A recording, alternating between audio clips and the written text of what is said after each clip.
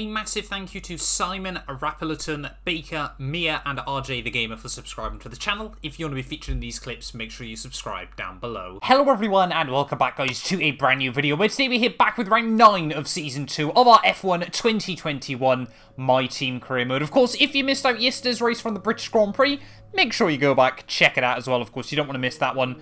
Very, very dramatic scenes from Silverstone. Yeah, I won't leave you guys uh, with any more spoilers than that. But heading though to the Hungarian Grand Prix, of course, final race before the summer break. So fingers crossed we can try and get the last few upgrades on the car. We do have quite a few R&D points at the moment as well. So can we try and go with any more upgrades? The fuel tank positioning should be done ready for the Grand Prix. Uh, we can go with the DRS maximum slot gap as well for 1,155 points. That should be ready for Belgium. Uh, so hopefully, yeah, we'll get a couple of big upgrades in ready for the second half of the year there. We'll need to do some more durability upgrades as well, actually, uh, before I forget. Uh, we'll go with the MGU-K reliability testing as well. That actually will only be ready for the Dutch Grand Prix. So more and more upgrades in the works at the moment there. You can see four more upgrades currently going on to the car. Championship-wise, though, Hamilton's still dominant out front there. What's that, 65 points clear? At this stage of the year, he's he's just in a different league. It's it's a case of when Hamilton bags title number five rather than if at this stage of the championship. There's still a mega battle going on uh, between both McLarens, the Red Bull of Verstappen there, the Ferraris, and Yuki Tsunoda as well as we try and stay with these guys there. We're also really, really close with Aston Martin in the battle for P5 in the Constructors' Championship as well there. Uh, we need to take some grid penalties as well this weekend. Unfortunately, our second energy store uh, is far too worn out now. 69% there. Nice, love that. Uh, we're going to have to put another one of those on the car ready for the Belgian Grand Prix. We also need to go with our... Uh, sorry, the control electronics there. Our energy store as well. We need to get another one of those on the car as well there, and probably a new ICE uh, if we're taking grid penalties anyway. A turbocharger, that should be absolutely fine though. Uh, let's just make sure all these upgrades get on the car then ready for this weekend's Grand Prix. Fingers crossed, of course, yeah, we can try and get these last couple of upgrades in ready for the summer break. And of course not. We had a major issue on the production line earlier this week, so the entire development package for this weekend has failed. Any redevelopments will need to be ordered from the R&D screen. Should I even be surprised anymore at this stage of the game? And we don't even have enough R&D points uh, to get that sorted as well there, of course. We, we probably need to make sure the upgrades have worked uh, before we go and, uh, you know, sort of apply more ready for these races. We have got a bit more money, though, now, so we can hopefully go with another facility upgrade if we're lucky. Uh, we might have to be powertrain coming to build time. Yeah, there we go. Build time reduced by 40%. Uh, leaves us with very little money in the bank. Uh, but we have obviously got a couple more races before we have to renegotiate Shwartzman's contract. Uh, but yeah, we've got some grid penalties. So we'll be starting from the back anyway, most likely. Let's dive into the Hungarian Grand Prix.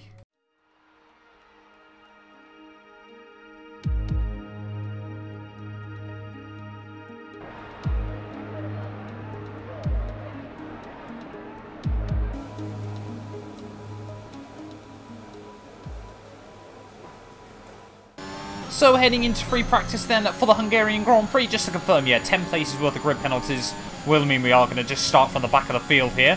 Not the easiest track to overtake on, of course, the Hungarian Grand Prix, but not worth putting the extra stress through the engine, uh, because there's probably going to be a lot more penalties towards the end of the year as well. Their durability and reliability has not been perfect over a big part of this season. It's certainly something we need to look to if, you know, we want to be making a title challenge next year, perhaps, but we'll wait and see about that just yet. But fingers crossed, you know, the Hungarian Grand Prix circuit, not one I enjoy a lot, but hopefully it'll provide a good race this weekend. Just like it did in real life, to a, to a certain degree, I suppose. A memorable race. Actually failed our first lap here in free practice, but we are going to get the green score on lap 2. You've nailed what we asked for. Keep it up. That's what we like to see. Very, very difficult balance to find this weekend as well, of course. We need to have a car that can overtake, but we need a car that's quick. Great lap. You've what we asked for. Keep it up. There's the race simulation run all done and dusted. We'll do the other couple behind the scenes, get that last upgrade on the car that we need to, and let's dive into the race. It's race day in Budapest as we get ready for another round of the Formula One World Championship. We don't expect too many retirements at this track. There are plenty of current and former drivers with flawless finish rates here. In particular, Ralf Schumacher. He made it across the line in all 10 of his Hungarian Grand Prix starts. We're northeast of Budapest for the race today at the 2.7 mile Hungaroring circuit. 14 corners here, 8 to the right and 6 to the left, on a track where downforce is king and passing is notoriously difficult. Now, Anthony Davidson, I wonder, might we be in for some early pit stops today from the midfield teams, all trying to put some pressure on or disrupting things for the leaders up front? If you're in the middle of the pack, you know, you got your own race to run, I don't think they're going to be thinking about causing trouble up front. However, closer to the head of the pack, don't be surprised to see some split strategies. If you're running second and third, for example, bringing one car in for an undercut while leaving the other one out there longer can put a lot of pressure on the leader and maybe force them into an error. It's time to see how our drivers are stacking up after yesterday's exciting qualifying session. An immense lap from Lewis Hamilton yesterday puts him on pole position, and Max Verstappen lines up alongside. Moving on to the rest of the grid, we have Leclerc, Tsunoda, Carlos Sainz, and Ricciardo, Russell, Norris, Perez, and Pierre Gasly, Stroll, Fernando Alonso, Esteban Ocon, and Shwartzman, Zhou, Bottas, Christian Lundgaard, and Antonio Giovinazzi, Latifi, Mazepin, Mick Schumacher, and Mr. Monaco. It's almost time for those five red lights to go out. Then let's see who can prevail today.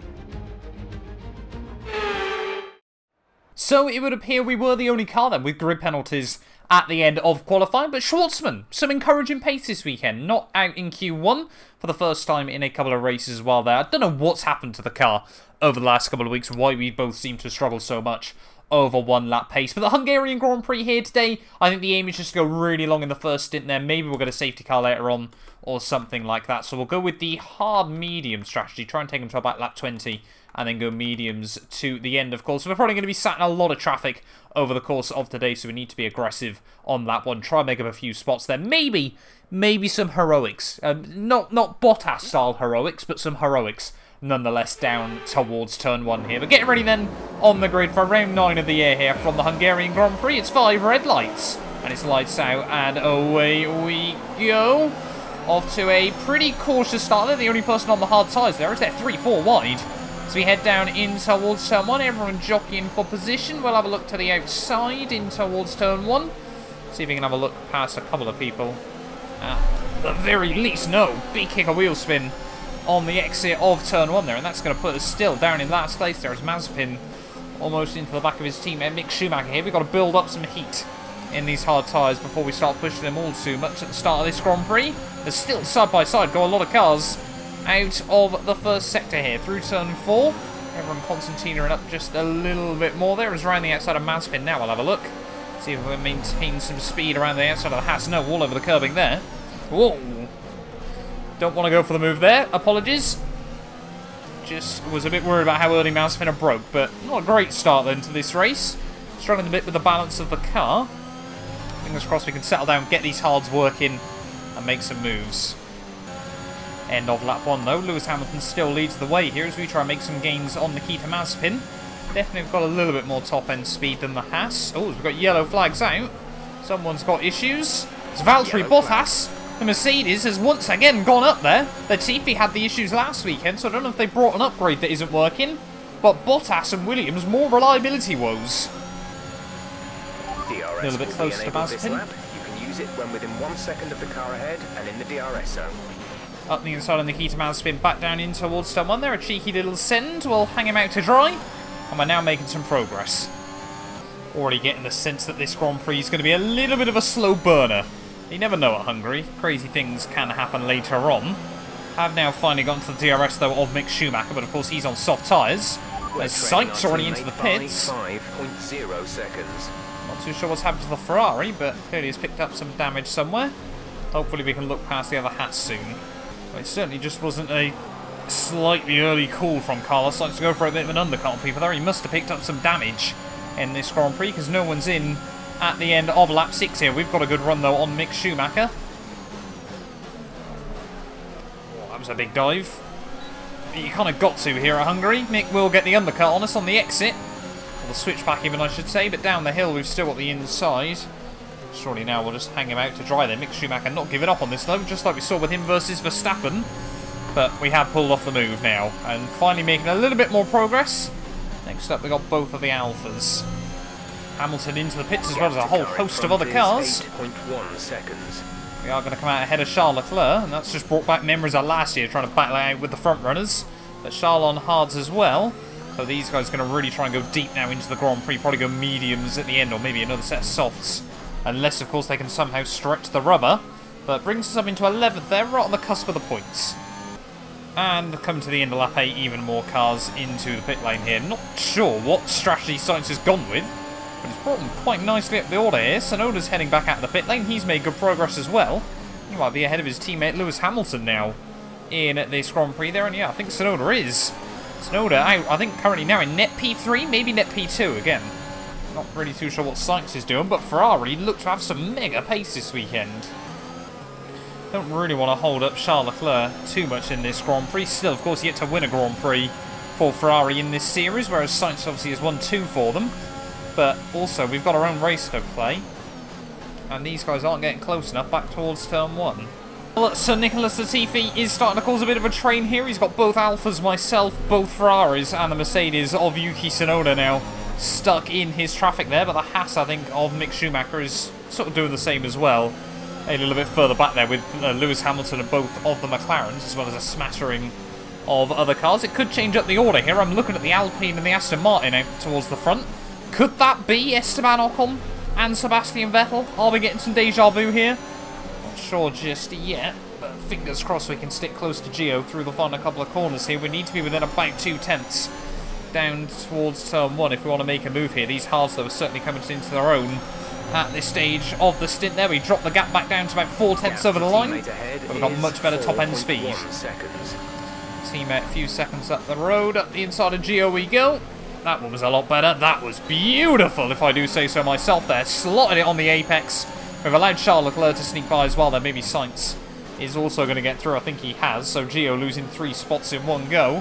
Hate to see it for him, but pretty proud of that little send. Hopefully we can do the same now. Come on then, Lundgaard. Let's see if we can do the same again. Repeat the feat to the young Danish driver here. We're a little bit further back this time around. I don't think we're going to be close enough to go for a send. I'll have a look. No, not quite close enough this time round to go for anything on Christian. Former teammate, of course, but yeah, just a little bit more cautious. Don't want to do anything stupid. Come on then, Christian. Let's see if we can stick a bit closer this time round. Charles Leclerc must be getting so fed up behind all this. But the missile down the straights is coming in clutch once more here this weekend as we head through the final corner.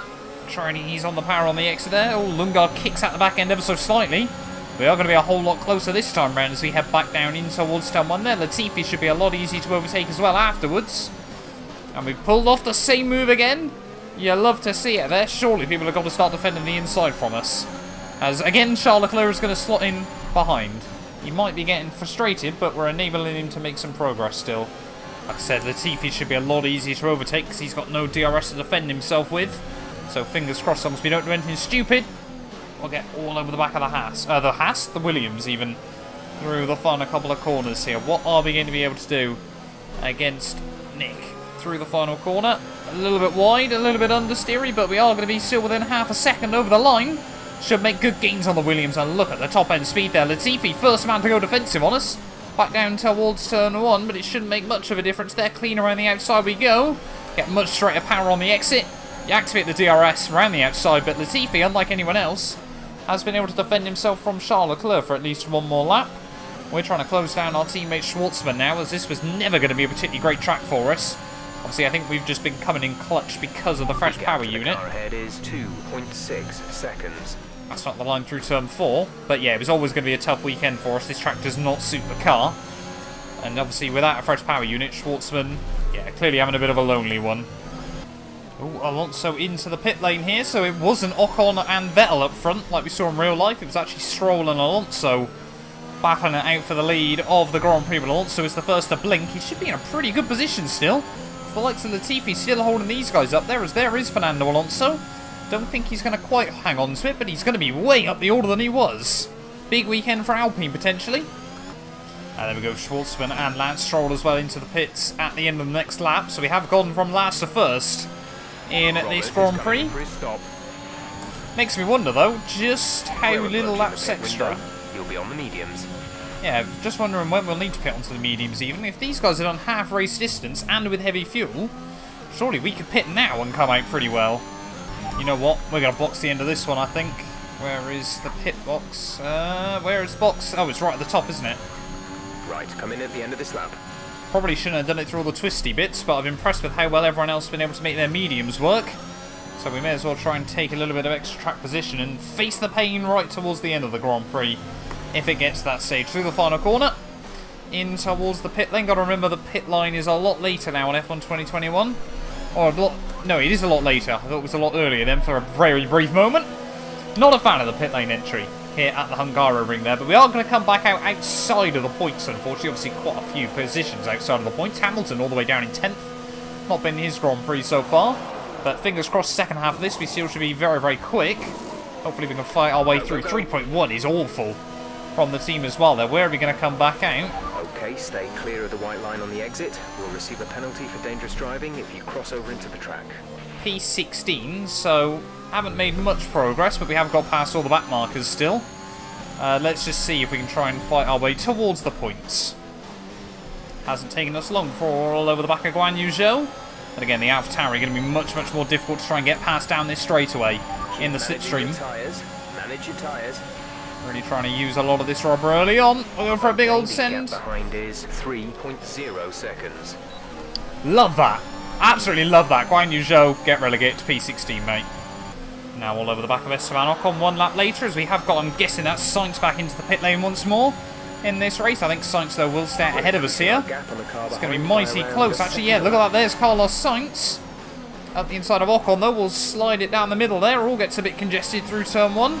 Sainz might try and look for a run on the exit there on Esteban. To the outside he goes. We're now trying to focus on our teammate in front there, and I think Sainz has pulled off the move. Has he done so? No, I think Ocon might have held on to it. Uh, nope, Sainz has pulled it off. GG's. Now we need to try and get past our teammate, though. Maybe some multi-21 coming in. To be honest, once we've got past our teammate Shwartzman here, I might let Sainz try and drag us along for a few laps, because he might well be the quickest car on track at this stage of the day, and I may as well use some DRS and some lines off him later on in this Grand Prix. Can we get a run on our teammate Shwartzman, though, first out of the final corner? Sainz is staying pretty close to us as well. As we head back down towards turn one there. Oh, Shwartzman, don't do this, buddy. Come on, just let me through. We don't need to fight it. We're on completely different strategies, mate. But we have pulled off the move. Now we've got to try and run away before Sainz applies the pressure. Pace feels pretty good in the car at the moment as we've got 12 to go. Let's see. Oh, Sainz. Holy moly. Yeah, Sainz is quick. Um, Norris ahead. Okay, gap ahead is 3.2 seconds. They're on old hards. Their tyres are 14 laps old. The time last lap was a 117.2. You're gaining by a full second per lap. Good job. you love to hear it. One second a lap on Sainz and... Oh, sorry, Gasly and Norris even.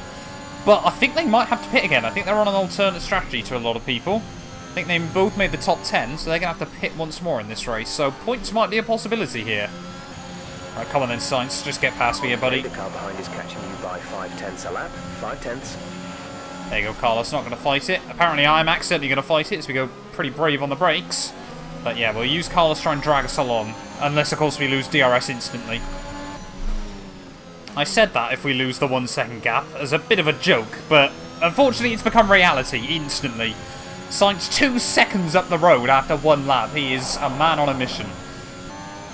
Well, Sainz now really seems to be struggling to try and get past the McLaren of Lando Norris, the race-winning McLaren of Lando Norris, I must add, of course, after the craziness that was the British Grand Prix last time round. But doesn't look like any of these guys are going to try and pit towards the end.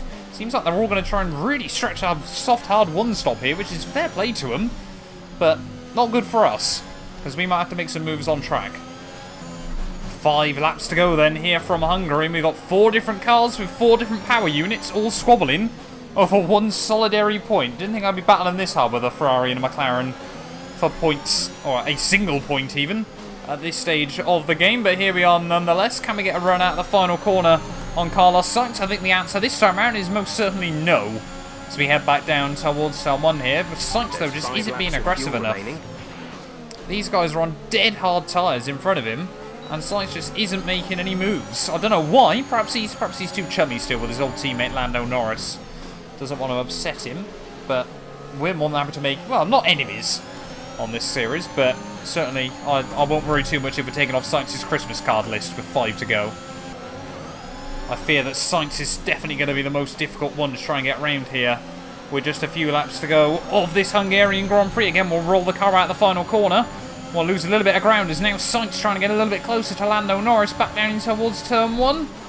Up the inside of Carlos we go, though. Big lock-up from the Ferrari. He still tries to turn in on me. Despite the fact we're there, a little bit of wheel-to-wheel -wheel contact between us, but we have pulled off a crucial move at this stage of the race, and I'm sure, yes, yeah, Sainz not happy with that after we let him through earlier on. But if you're not going to make overtakes, mate, we're going to have to try and get on our own race. Next up, Lando Norris. Oh, Gasly! Oh! Gasly just completely dropped it in front of us, seemingly out of nowhere. With a few laps to go with this Grand Prix, and now Lando Norris is going to have no DRS to defend himself with out of the final corner. What was that from Gasly? Clearly the hard tyres have completely hit the cliff as we head back down towards 1 there, but not close enough this time on Lando to make anything work. But surely now with two to go, Lando's going to be a sitting duck in that Macca. Rather worrying now with two laps to go. I wonder if uh, Lando Norris had just sort of been held back by Pierre Gasly at this stage of the Grand Prix, so perhaps Pierre spinning has done more damage than good for us at this stage of the race. 13.0 seconds. No idea what's happened to Shwartzman, why his pace has fallen off late on. But yeah, Norris now seems to just have a little bit of the afterburners on. Gotta have to really hang with him this lap if we want to try and make anything work. Really pushing now with just two to go, well, lap to go even, I should say, now of the Hungarian Grand Prix. Are we going to be close enough to Lando Norris out of this final corner to make anything work here? It's going to be a drag race back down towards turn one. I'm well aware of that, Jeff, as we head out the final corner. New PB. Are we going to be close enough? Back down towards turn one. The gap comes down to three-tenths of a second. We make even more gains in the braking zone, but not close enough to make a move there. Can we get a run out of turn one, down the hill, in towards turn two here on Lando Norris? Again, going really late on the brakes. We try to have a look around the outside, but nothing working there either. And it doesn't look like it's going to be possible. What happened? Let me know you're okay.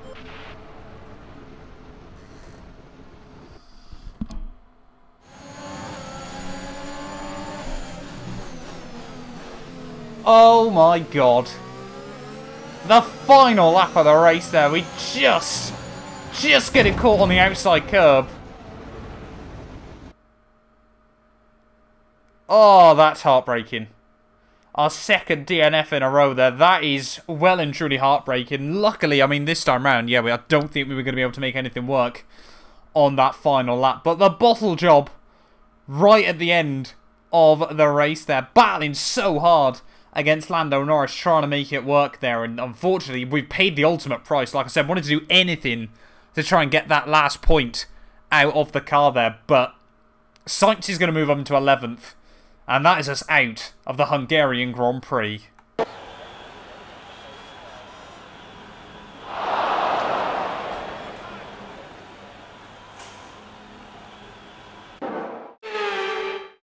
That's a fantastic performance from Ferrari. It hardly looked in doubt.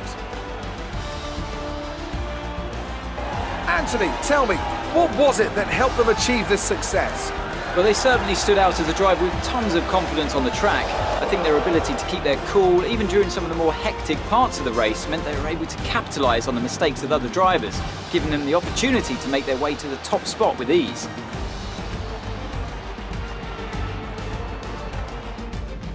Ferrari are at it again, an excellent performance at today's Grand Prix, and they're certainly a team that know what they're doing out there.